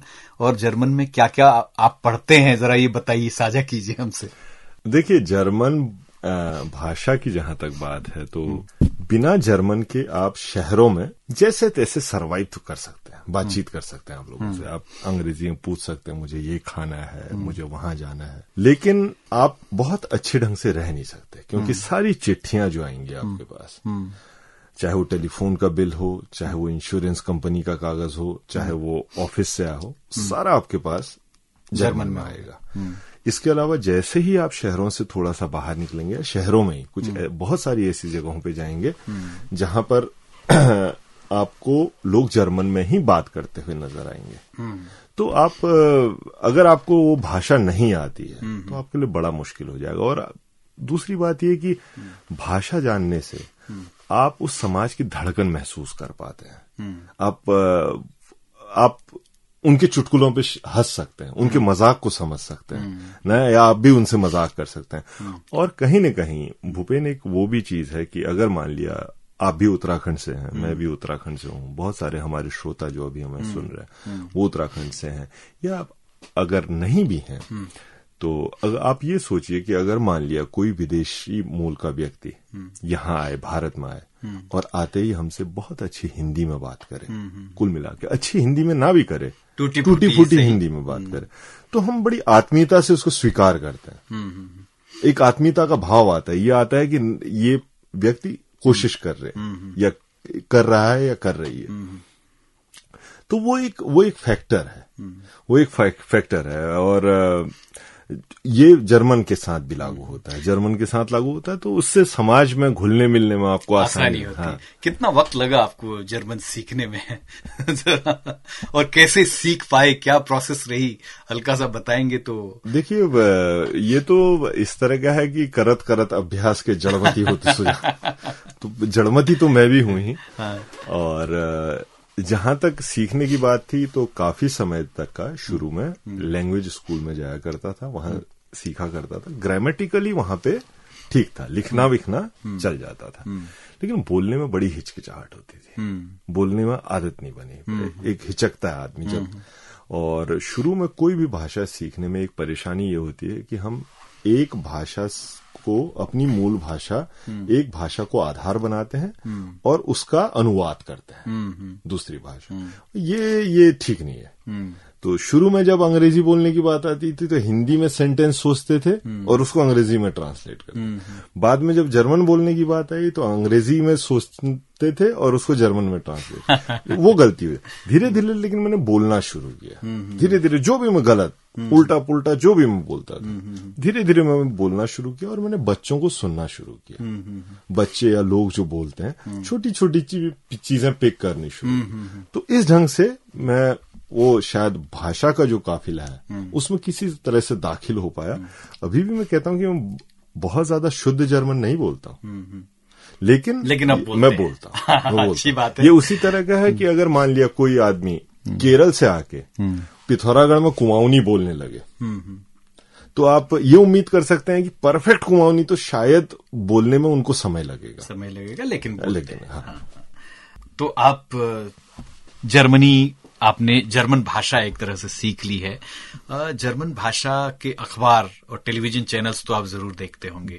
कुछ ओरिजिनल टेक्स्ट जो है वहाँ के साहित्य का कहानियों का उपन्यासों का कविता का या कोई और भी दर्शन से विज्ञान से संबंधित। इस तरह का भी कुछ आपने हाल फ़िलहाल में पढ़ा हो तो आप शेयर कर सकते हैं हमसे। देखिए मैंने एक जर्मन में किताब तो मूल रूप से जर्मन में लिखी गई थी हम्म। लेकिन उसका मैंने अंग्रेज़ी में पढ़ा था हम्म, हम्म। अनुवाद। और वो था जर्मनी के बहुत मशहूर गणितज्ञ गाउस हम्म। और हुम्बोल्ट हम्म। जो बहुत मशहूर जिनके नाम पे यूनिवर्सिटी हाँ, भी वहाँ पर एक है हुम्बोल्ट यूनिवर्सिटी यूनिवर्सिटी खोजकर्ता आविष्कारक। हम्म, और बहुत बड़े वनस्पति शास्त्र और जीव विज्ञान के एक्सपर्ट वो रहे। उन दोनों की यात्राएँ जैसी थी। और उन दोनों की यात्राएँ कैसी। थी वो किताब मुझे जर्मनी में मैंने जो किताबें पढ़ी जर्मनी से रिलेटेड या जर्मन समाज से रिलेटेड उन दोनों में वो किताबें बहुत इंटरेस्टिंग लगी और पता चला कि कैसे कैसे इंसान एक बच्चे की यात्रा बहुत बड़े गणितज्ञ के रूप में शुरू होती है। जैसे गाउस का मैं आपको उदाहरण दू। गाउस के घर के सामने एक पहाड़ था। और गाउस जब छोटे ही थे तब वो हमेशा कल्पना करते थे कि इस पहाड़ की ऊंचाई कितनी होगी। तो फिर उन्होंने एक दिन क्या किया कि पहाड़ के एकदम तले में गए निचले इलाके में और वहाँ से कदम नापे ऊपर चढ़ने तक का। और फिर उस जगह पे देखा जहाँ पे वो खड़े होके देखा करते थे वो कदम नापे। उन्होंने एक समीकरण बनाने की कोशिश की। और उस समीकरण को जब दूसरे पहाड़ पे अप्लाई किया तो गलत निकला। फिर दूसरे पहाड़ को मेजर किया ऐसे ही कदम चल के। तो आखिर में सात आठ ये आल्स के पहाड़ होंगे या मैं ऐसे ही बोल रहा हूँ आपसे आल्स नहीं, नहीं आसपास के टीले। अच्छा आल्स हाँ, टीले होंगे। तो ये सारी चीज़ें करने के बाद वो आखिर में वो एक ऐसा समीकरण बनाने में कामयाब हो गए। हम्म, हम्म। ना? वो ऐसा समीकरण बनाने में कामयाब हो गए जिससे वो वो ऊंचाई हम्म। एक उसकी दूरी या उसकी ऊंचाई कितनी है ये समीकरण बनाने में कामयाब हो गए। हुमबोल्ट ने भी बिल्कुल ऐसा ही किया। हुमबोल्ट ने बहुत ज़्यादा एक्सपेरिमेंट्स जो किए वो अपने शरीर पर किए। वो अपने शरीर पर जैसे कहीं पे कहीं कट लग गया तो उसमें तमाम तरह की वनस्पतियाँ लगाया करते थे। या कई बार वो देखा करते थे लगातार कि ये जो चीरा लगा है या चोट लगी है इसमें क्या क्या हो रहा है? तो भूपेन इस मामले में एक बड़ी इंटरेस्टिंग चीज़ मुझे लगती है कि अब शायद भारत में भी ये हो रहा है जिस ढंग से लोग नए नए लोग और कुछ बहुत इंटरेस्टिंग लोग ट्रेवलॉग्स बना रहे हैं। क्योंकि ट्रेवलॉग्स शायद सबसे ज़रूरी दस्तावेज़ है। उनकी अहमियत पहले हमने कभी नहीं समझी। और उनकी अहमियत अगर एक तो इस ढंग से नहीं समझी या दूसरा जिन्होंने भी ट्रेवलॉग्स लिखे उन्होंने अपने नज़रिए से आपको चीज़ें दिखा दी। उदाहरण के लिए अभी मैं हाल ही में पिंडारी से वापस लौटा हूँ पिंडारी ग्लेशियर की यात्रा से। तो अगर आप देखिए मैं आपको छोटा सा कुछ हिस्सा सुनाना चाहूँगा वो जो मैंने कुछ अपना अनुभव वहाँ पे लिखा था। हाँ, ज़रूर। तो उसमें जैसे मान लिया एक जगह है कि यहाँ पर ये लिखा है मैंने ये लोहार खेत की बात है। लोहार खेत से आगे छह किलोमीटर का ट्रैक करने के बाद बारह बजे खाती पहुँचे। लंच वहीं किया। नवंबर के महीने में सूखी घास काटकर लोग लुट्टा बना रहे हैं। हैं? खाती गाँव में सोलर पैनल भी हैं। बीएसएनएल के सिग्नल कमज़ोर हैं। एक घर में सोलर कुकर भी है। गाँव में करीब चार दर्जन लुट्टे दिख रहे हैं, घास के लुट्टे। तो देखिए मैं इस चीज़ को सिर्फ़ इस वजह से बताना चाहता हूँ कि ये जो है, नवंबर के महीने में लोग घास काटकर लुट्टे बना रहे हैं। ये अपने पूरा इतिहास का एक तरह से डॉक्यूमेंटेशन हाँ, है उस दौर ये एक मेरा अनुभव है जो मैंने देखा। दूसरी चीज़ ये उस इलाके की खेती के बारे में और उस इलाके की समाज के बारे में एक सूचना है कि नवंबर में वहाँ घास कट पककर तैयार होती है। तीसरी चीज़ वहाँ पे महिलाएँ घास काट रही हैं। ना? अब अगर आपको ये देखना है कि अगर मान लिया बीस साल बाद लोग ये चीज़ें अक्टूबर में करने लगे। या दिसंबर में करने लगे। इसका मतलब ये जो प्राकृतिक सर्कल है जो चक्र है वो चेंज हुआ है। हम्म, हम्म, हम्म। और ये आने आगे वाले लोगों के लिए भी एक दस्तावेज़ है कि अगर मान लिया अगर आप वहाँ पे नवंबर में जाएँगे तो आपको क्या क्या दिखेगा तो इस ढंग से ये ये इस मामले में भूपेन बहुत ज़बरदस्त है कि किस तरह से यूरोप के जो लोग थे वो नावों के सहारे जब दुनिया भर में गए तो उन्होंने क्या? क्या किया और कैसे यूरोप ने दुनिया पर राज किया जो साम्राज्यवाद था? अगर आप देखिए तो नक्शे उन्होंने ही बनाए। समंदर के रास्ते उन्होंने निकाले और उन्होंने उनको डॉक्यूमेंट किया। हम्म, तो आप ये बता रहे हैं कि जर्मनी में रहते हुए आपने जैसे हुम्बोल्ट को आपने पढ़ा दूसरे जो आप बता रहे हैं विद्वान उनको आपने पढ़ा तो जर्मन भाषा सीखने के बाद आपको तमाम वहाँ का साहित्य पढ़ने का मौका मिला और वहाँ के इतिहास समाज संस्कृति साहित्य कला इन सबको जानने का भी आपको मौका मिला। और जैसे कि बिथोवन के जो शहर है जिसको हम जिनको हम बिथोवन बोलते हैं उस शहर में तो आप रहे ही हैं वहीं आपका न्यूज़ मीडिया का, जो डॉयचे वेले का हेडक्वार्टर भी है। और थोड़ा सा आगे अगर ऑस्ट्रिया की तरफ़ जाते हैं तो वहाँ आपको मोजाट का भी घर मिलता है और मोजार्ट का जो जहाँ वो पैदा हुए थे वो घर भी कहीं उसी रास्ते में मेरे ख्याल से पड़ता है मुझे जहाँ तक याद आता है। ओंकार अब मैं ये जानना चाहता हूँ जाते जाते हम इस बातचीत को समेटने की तरफ़ बढ़ते हैं। जर्मनी में रहते हुए या यूरोप के ज़्यादातर देशों में रहते हुए ये अब वहाँ के लोगों के लिए काफ़ी आसान हो चुका है कि आपको वीज़ा की उस तरह से ज़रूरत नहीं पड़ती है। यूरोपियन यूनियन के जो देश हैं, उनमें अगर आप रहते हैं, या आपके पास जो सेंगन वीज़ा है अगर वो होता है तो आप जो यूरोपियन यूनियन के जो मेंबर्स हैं, उनके, उन देशों में आप घूम सकते हैं। और जो पुराना इतिहास है, पुराने जो अलग अलग शहरों का, जैसे प्राग की बात हम करें, जैसे इसी तरह के अलग अलग शहर हैं, जहाँ से कई कलाकारों के नाम जुड़े हैं, कई विद्वानों के नाम जुड़े हैं, वहाँ सब आप घूम सकते हैं, उन्होंने अपने म्यूजियम्स भी बनाए हैं तो देखने, सुनने, समझने की बहुत सारी चीज़ें हैं। मैं जानना चाहता हूँ कि आपका जो सफ़र है, जो यात्रा आपकी है बागेश्वर, उत्तराखंड में, लोहाघाट, हल्द्वानी और फिर दिल्ली, एनडीटीवी, फिर डॉयचे वेले, बॉन, उसके अलावा किन किन देशों में आपको जाने का मौका मिला और कहाँ कहाँ आप घूमते रहे? और कैसा लगा आपको और कोई यादगार चीज़ें अगर साझा करना चाहें कि इतने भूगोलों को देखना इनकी इतनी संस्कृतियों के साथ गुजरना उनको उनसे इंटरेक्शन करना ये अनुभव छूट न जाए बात खत्म से करने से पहले इसको इस पे ज़रूर आप आइए इस मामले में काफ़ी देशों में घूमने का मौका मिला हम्म। और ये जो आपने कहा कि वीज़ा फ्री हम्म। है एक बड़ा इलाका हम्म। कई सारे देश तो इसकी वजह से बहुत सहूलियत होती है। हम्म। और मेरे लिए जो बड़ा एक तरह से भावुक लम्हा था वो था पुर्तगाल की राजधानी लिस्बन। लिस्बन में उस जगह जाना जहाँ पे वास्को डिगामा ने भारत के लिए यात्रा शुरू की। हम्म, हम्म, हम्म। वहाँ पे आज भी वो मॉन्यूमेंट बना हुआ है कि अच्छा। यहाँ से वास्को डिगामा निकले और वो भारत में पहुँचे। तो वो जगह तब मुझे लगा कि सोलहवीं शताब्दी में एक शख्स यहाँ से चला और वो भारत पहुँच गया। आज मैं उस जगह हूँ वापस। तो एक वो लम्हा था। इसके अलावा फ्रांस की अलग संस्कृति है उस संस्कृति को देखना उन, उन लोगों का स्वभाव भी थोड़ा सा अलग अलग है इसके अलावा मुझे काफ़ी पसंद आया डेनमार्क। डेनमार्क में हाल ही में देखा कि जिस ढंग से पर्यावरण को लेकर डेनमार्क के लोगों की चिंता है जिस तरह से पर्यावरण का वो ख्याल रखते हैं वो अद्भुत है ज़बरदस्त है। डेनमार्क में ये हालत है कि अगर बर्फ़ गिर जाए तो वहाँ पे गाड़ियों से पहले साइकिल ट्रैक को साफ़ किया जाता है। हम्म, हम्म। तो इस तरह की चीज़ें हैं। डेनमार्क है स्पेन है। हम्म। काफ़ी यात्रा यात्रा काफ़ी हो चुकी है और हर जगह का अपना एक अलग अनुभव है। और कुल मिला के भूपेन मैं ये कह सकता हूँ कि इस तरह की यात्राएँ हम्म। आपको कई बार किताबों से ज़्यादा सिखाती हैं। हम्म। वो क्यों? क्योंकि आप सारा आपका अनुभव होता है वो। आप अपनी आँखों से चीज़ों को देख रहे होते हैं हम्म। और दिलचस्पी जागती है। तो कोशिश करनी चाहिए कि आप जितना घूम सकते हैं भले ही आप आसपास घूमे। आपको बहुत एक छोटा सा उदाहरण दू। हाल ही में मैं गया था रानी कोटा कोटा बाग से के पास एक जगह है रानी कोटा मैंने वहाँ कम से कम शाम को चालीस तरह की पंछी देखे। कम से कम चालीस तरह के। हम्म। इसका मतलब ये है कि वहाँ बायोडाइवर्सिटी बहुत समृद्ध है। हम्म। वहाँ पे कई तरह के कीट हैं।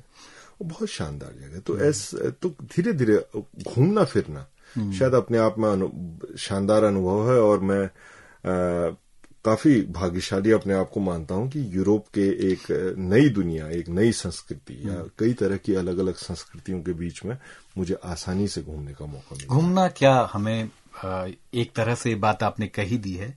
क्या मेरे ख्याल से ज़्यादा उदार भी बनाता है और हमें जो संकीर्णताएँ हैं एक समाज में अगर आप बहुत ज़्यादा देर तक चिपके रहते हैं तो हो सकता है कि आपका जो वर्ल्ड व्यू है या जो नज़रिया है वो सीमित बहुत हो जाए। जितना आप नए नए भूगोलों में नई नई नई संस्कृतियों से गुजरते हैं तो आपका शायद वो दायरा भी उस तरह से बड़ा होता है। क्या कहेंगे इस बारे में? हाँ बिल्कुल। लेकिन इसमें शायद दो बातें हैं। हम्म। एक है घूमना टूरिस्ट की तरह हम्म। और एक है घूमना ट्रेवलर की तरह। इन दोनों बहुत खूबसूरत बात आप कह रहे हैं। हाँ। अगर आप टूरिस्ट की तरह घूमेंगे हम्म। तो आप अपने खोल से कभी बाहर नहीं आ पाएँगे। हम्म। आपको उसी तरह की सुविधाएँ चाहिए जो आपको आप कंज्यूम हाँ, करने के लिए उपभोग हाँ, उपभोग करने के लिए घूम रहे होंगे। ना? हाँ, आप कहीं ना कहीं आपको लगता है मेरी पॉकेट में पैसा है I will get the best और जब आप ट्रेवलर होते हैं तब आप बहुत ही हम्बल तरीके से घूमते हैं। आप हम्बल तरीके से आप लोगों से मिलते हैं उनके साथ बैठते हैं आप उनसे अदब से बात करते हैं ना? आप तो मुझे ट्रेवलर की तरह घूमना ज़्यादा पसंद है। पर टूरिस्ट की तरह घूमना मुझे बहुत खूब। तो ओंकार आपकी जो पूरी जर्नी रही है उसके बारे में हमने बात की और जर्नी आपकी हिंदुस्तान से, उत्तराखंड से होते हुए बॉन में, जर्मनी तक की जो पूरी जर्नी है, और आपने कहा भी कि घूमना आपको काफ़ी पसंद है, और इतनी सारी बातचीत, इतने दायरे में फैली हुई बातचीत है कि हमारे जो लिसनर्स हैं, उन्होंने भी एक नई दुनिया हमारी बातचीत में कहीं न कहीं पे देखी होगी अब मैं इस बातचीत को समेटने की तरफ़ बढ़ता हूँ और जाते जाते आपसे कहना चाहता हूँ कि अगर आपको लग रहा हो कि कोई बात छूट गई है और उस बात को ज़रूर मुझे पूछ लेना चाहिए था या आप उसको शेयर करना चाहते हैं तो वो बात आप हमसे शेयर कर सकते हैं अब भी नहीं मैं बस थोड़ा सा मैं हर किसी से उम्मीद करता हूँ या मैं यही कहना चाहता हूँ हम्म। कि हम लोग बहुत भाग्यशाली हैं अभी उत्तराखंड में कि हम लोगों के यहाँ दिल्ली जैसी स्थिति नहीं है हम्म। और हम सब लोगों को प्रयास करना चाहिए कि वैसी स्थिति कभी प्रदूषण के मामले में हाँ, प्रदूषण के मामले में दूसरे मामलों में भी। हम्म, हम्म। क्योंकि कई बार जब हम दूसरे शहरों में चले जाते हैं या वहाँ से वापस गाँव आते हैं तो हम एक सांस्कृतिक विषाणु की तरह काम करते हैं। जो वहाँ की चीज़ों को यहाँ लाता है और यहाँ के समाज में भी थोड़ी उथल पुथल मचाता है। तो उस ढंग की चीज़ें हमारा इलाका बहुत खूबसूरत है ये बहुत हरा भरा है और हम कोशिश करें कि इसको इसकी खूबसूरती को विकृत ना करें। इसको सुंदर बनाए रहें। और ये जो पहाड़ों में एक इस इलाके में प्रेम भाव है आपस में ये हँसी मज़ाक कर देना अनजान आदमी से भी चलते फिरते गप लगा देना वो बना रहे क्योंकि अगर सब कुछ मतलब के हिसाब से होने लगेगा तो दुनिया बड़ी बेरंग हो जाएगी। वाह बहुत खूब। और आपकी पूरी बातचीत का अगर मैं सारांश निकालूं तो जो बातें आपने कही है कि दुनिया को बेरंग नहीं होना चाहिए और हमारे समाज में भी जो खूबसूरती है वो बचा रहना बच, बची रहनी चाहिए और उत्तराखंड के समाज पर भी आप आए कि यहाँ का समाज भी एक तरह से ज़्यादा बेहतर समाज बने उदार समाज बने अपने पर्यावरण का भी ध्यान रखे और आपसी रिश्तों में भी एक तरह का खुलापन हो इसकी आप वकालत करते रहे। बहुत ही खूबसूरत नोट पे हम इस बातचीत को आज खत्म करने जा रहे हैं। आ, मुझे उम्मीद है कि अगली बार जब आप फिर से आ, हल्द्वानी आएँगे तो ज़रूर हमारे स्टूडियो आएँगे और हम फिर से बातचीत नए किसी विषय पर कर पाएँगे। आप हमारे स्टूडियो में आए हमसे इतनी सारी बातचीत आपने की। ओंकार आपका बहुत बहुत शुक्रिया। बहुत बहुत शुक्रिया भूपेन। इस मौके के लिए। और श्रोताओं से भी मैं कहना चाहूँगा बहुत बहुत शुक्रिया आप सब लोगों का जिन्होंने इस प्रोग्राम को सुना।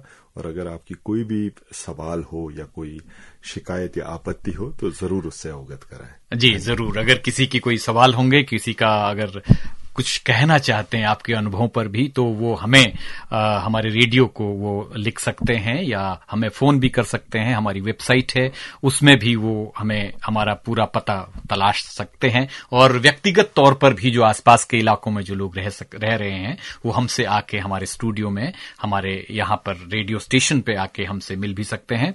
ओंकार मैं आपका फिर से शुक्रिया अदा करता हूँ। और इसी के साथ साथ जो हमारे लिसनर्स इतनी देर से हमारी इस बातचीत को सुन रहे हैं और हमारे साथ कभी यूरोप जा रहे थे तो कभी आल्प से होके कभी हिमालय पहुँच रहे थे और अलग अलग संस्कृतियों में हमारे साथ चल रहे थे। इतनी देर तक आप सब लोग भी हमारे साथ बने रहे। आप सब लोगों का भी बहुत बहुत शुक्रिया। और इसी के साथ मैं भूपेन्द्र सिंह आपसे विदा लेता हूँ और याद दिलाऊं कि अभी जो बात कर रहे थे हमारे साथ वो ओंकार जनौटी हैं।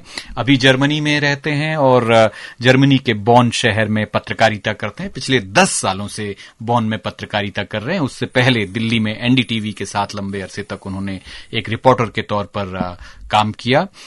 ओंकार मूल रूप से उत्तराखंड के ही रहने वाले हैं और आज हमारे स्टूडियो में हल्द्वानी में आए हुए हैं और ओंकार का हम पहले ही शुक्रिया अदा कर चुके हैं। हमारा प्रोग्राम मुलाकात नाम का जो है, आप जानते हैं, उसको आप लगातार सुनते रहते हैं। मुलाकात प्रोग्राम में हम ओंकार से बात कर रहे थे। तो इसी के साथ मैं और ओंकार आज के इस प्रोग्राम में आप सब लोगों से भी विदा लेते हैं। आगे के हमारे कार्यक्रमों को आप 91.2 एफएम पर सुनते रहिए। बहुत बहुत शुक्रिया नमस्कार।